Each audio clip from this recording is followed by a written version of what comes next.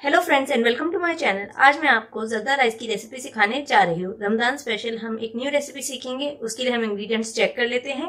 Ingredients में मैंने लिया है डेढ़ कप चावल। इनको दो घंटे पहले मैंने भिगो दिया था और इनका पानी निकाल कर अब रख लिया है। साथ में मैंने ली है एक कप चीनी या स्वाद अनुसार चीनी। थ्री टेबल स्पून देसी घी। कलर लिया है मैंने एक pinch orange colour half cup दूध।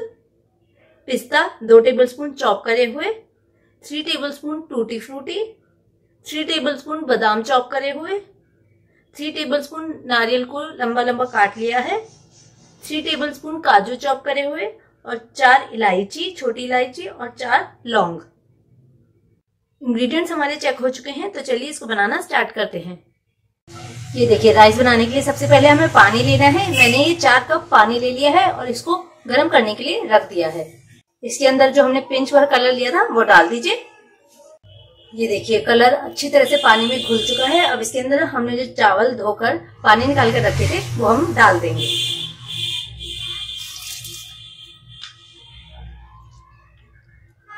ये देखिए, चावल डाल दिए हैं। इसकी फ्लेम एकदम हाई कर दीजिए और इसे पाँच मिनट इसी तरह से छोड़ दीजिए। ये देखिए, पाँच मिनट बाद आप देख सकते हैं। हमारे चावल हाफ़ बॉइल हो चुके हैं। अब हम इनको अलग साइड में रख देंगे। फ्लेम बंद कीजिए और इसको साइड में रख दीजिए। अब आप एक दूसरी कढ़ाई लीजिए या फिर जिसके अंदर आप बनाना चाहते हैं वो बर्तन लीजिए, उसको गर्म कर लीजिए। उसके अंदर हम घी ऐड कर देंगे।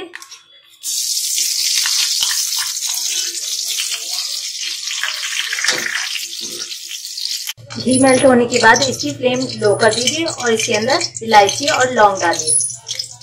और इसको कुछ सेकंड के लिए भून लीजिए। इलायची और लौंग की अच्छी खुशबू आने लगी है। उस टाइम पर आप इसके अंदर सारे ड्राई फ्रूट्स डाल दीजिए। साथ में बादाम भी और साथ में नारियल। और इनको भी लो फ्लेम पर एक मिनट तक भून लीजिए। जब तक हमारे ड्राई फ्रूट्स रोस्ट हो रहे हैं, हम चावल को छान लेते हैं। देखिए, एक छलनी ले ली है, जिसके अंदर मैं चावल को स्ट्रेन करूँगी और अब हम चावल इसके अंदर डाल देंगे। बहुत ही सावधानी से गर्म चावल है एकदम। ये देखिए, चावल छन चुके हैं, इनको हम इसी तरह से छोड़ देंगे और अब ड्राई फ्रूट्स को चेक करेंगे। ड्राई फ्रूट्स अच्छी तरह से रोस्ट हो चुके हैं, इस टाइम पर इसके अंदर दूध डाल दीजिए।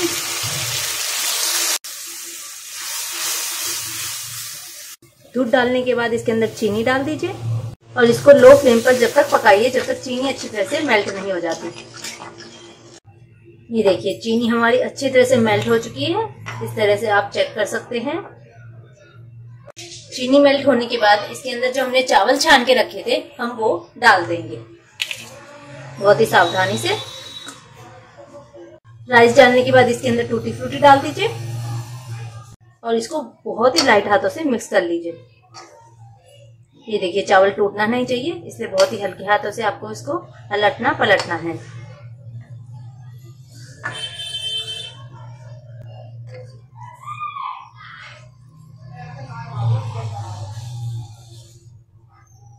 ये देखिए, हमने अच्छे तरह से मिक्स कर लिया है। इसकी फ्लेम लो ही रखिएगा।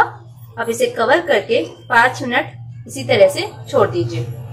जो हमारा बचा हुआ कच्चा राइस होगा, वो अच्छी तरह से पक जाएगा और हमारा दूध भी पूरा सूख जाएगा। पाँच मिनट हो चुके हैं चेक कर लेंगे। ये देखिए, अच्छी तरह से हमारा दूध भी सूख चुका है और अब चावल देखने से ही पता चल रहा है, अच्छी तरह से पक चुके हैं। इसकी फ्लेम हम बंद कर देंगे और इसे गर्मा गर्म सर्व करेंगे।